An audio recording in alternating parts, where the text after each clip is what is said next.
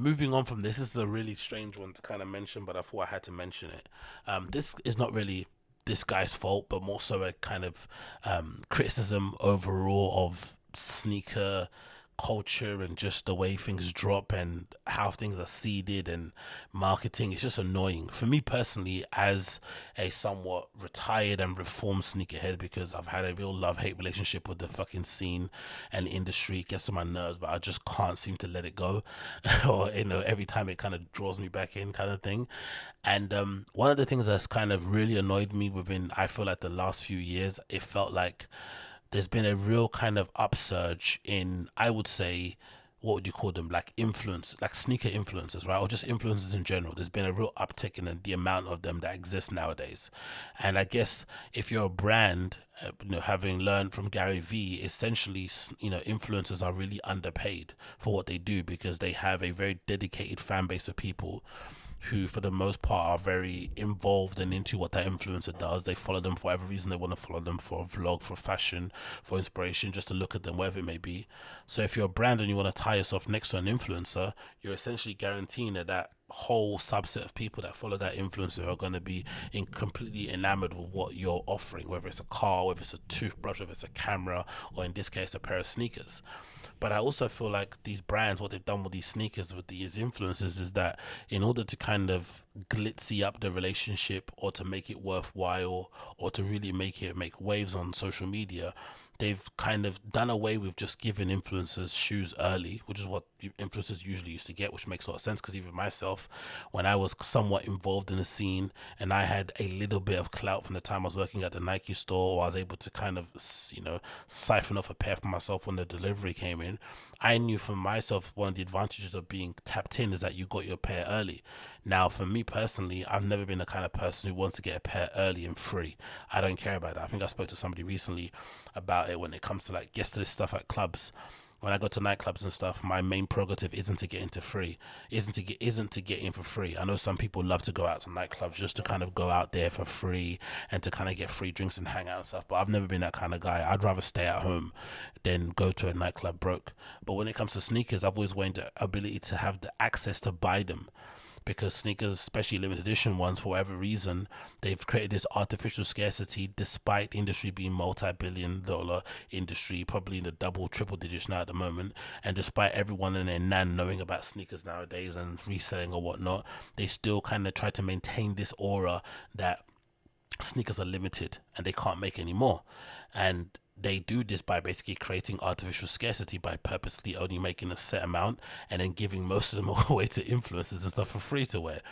And I feel like it kind of is annoying because instead of just sending them regular pairs to get ahead of time, they sometimes send them shoes that the regular public can't get a hold of. And is something that's always existed even in my in my era in terms of friends and family pairs of shoes.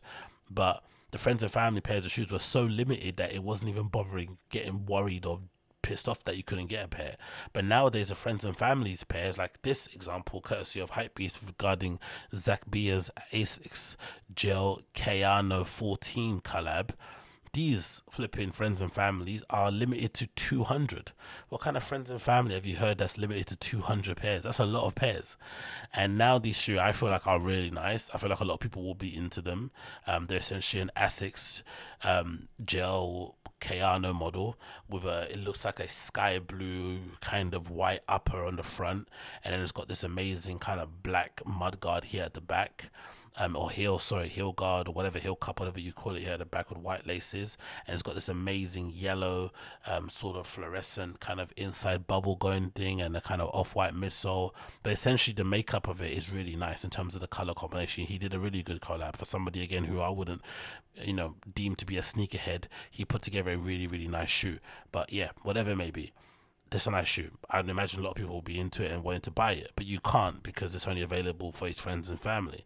But then they're advertising everywhere, which is something that I've never understood and really kind of gets on my nerves. I get the marketing aspect of it, but if you're not going to release it to the public for, for everyone to kind of have a, a chance to buy it, why are you showing it to us?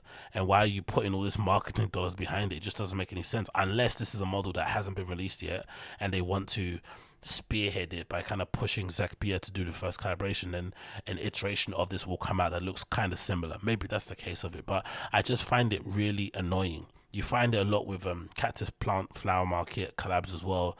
That that diamond dunk one that she did that wasn't really available in many places, and you see Bari wearing it in some terrible outfit, looking like he's about to explode from all the flipping fried food he's eating. It's just annoying. I want to see more people have access to this sort of stuff. And it's not just about me; it's about everybody in general because I feel like the access to trainers and the lack of access to it is really bizarre. The fact that you can buy a limit in fact, the fact you can buy like an in-demand iPhone on day of release or on the next day with ease, but then you can't buy a really limited edition sneaker is really retarded, in my opinion. I, I don't care the word, not meant to use it, but that's the only way to describe it. It absolutely makes no sense to me, especially now that legitimately everybody and their mum knows about sneaker selling. You know, people there's there's sneaker resellers out there who are under the age of 16. I'd assume now there's probably 10 year olds just you know slinging flipping sneakers to your you know to your favorite basketball player out there the moment. This stuff exists. People are creating bots. They're on Discord and stuff, whatever it may be.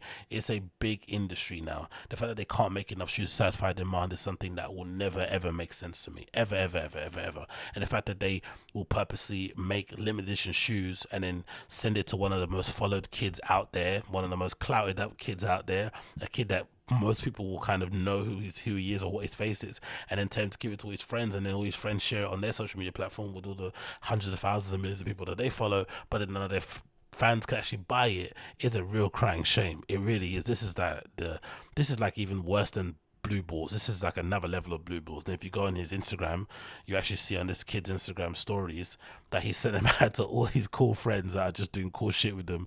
But there's not one normal quote unquote person that's got a pair of them. Everybody on here that's got a pair has either got a tick, a, a verified thing next to their name, or they're just, you know, living life doing the greatest of all they want to do. Like, look, Heron, there's the thanks, bro, proud friend. Like, all right, it's I always I always find it funny as well. Like, all, all these guys seem to have friends that are doing cool, interesting things. They never seem to have like regular friends that they want to promote on their stories. It's never talking about your friend that's working as a busboy, never your friend that's working as a barback, never is your friend that's working as a receptionist, never is your friend that's working as a nursery teacher. It's always your friend that makes cool things. That's your friend. So proud, my friend, my friend. Why aren't you proud of your friend who got given the keys to the retail store that he was that he was um uh, the weekend assistant at the other day. Why isn't that a proud thing? It's always proud about the cool things, isn't it? This fucking furi- infuriating. I really do find it super annoying, but whatever it like GQ articles about it, but then you can't actually purchase the thing itself. It's absolutely redacted. It really, really is, and it gets on my absolute nerves. I hate everything about it, but again, they keep getting me involved, and I can't let go of this shit. I really do wish I could let go.